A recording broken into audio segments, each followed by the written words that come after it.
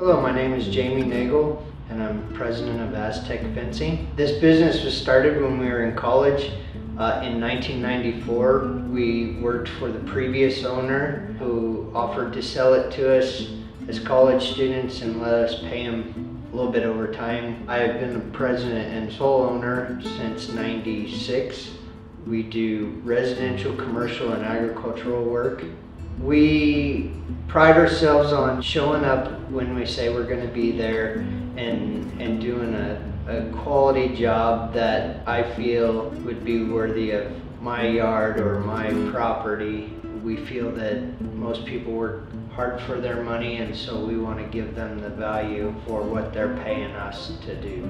We do sell uh, material out of our commercial location out here at I-25 in Johnson's Corner. We do take orders and we'll work around your schedule to for you to come pick them up.